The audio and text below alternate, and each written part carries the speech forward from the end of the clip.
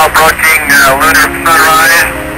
And uh, for all the people back on Earth, the crew of Apollo 8 has a message that we would like to send to you.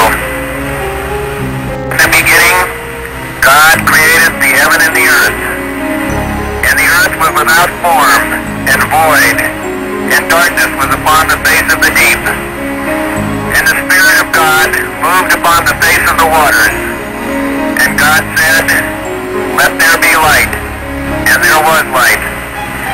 God saw the light, that it was good. And God divided the light from the darkness. And God called the light day, and the darkness he called night,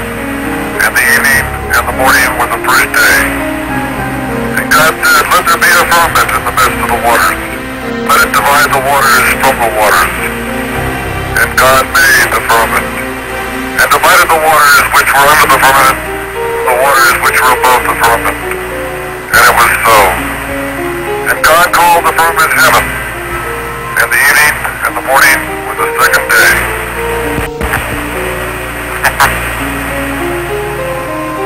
God said, Let the waters under the heaven be gathered together into one place, and let the dry land appear.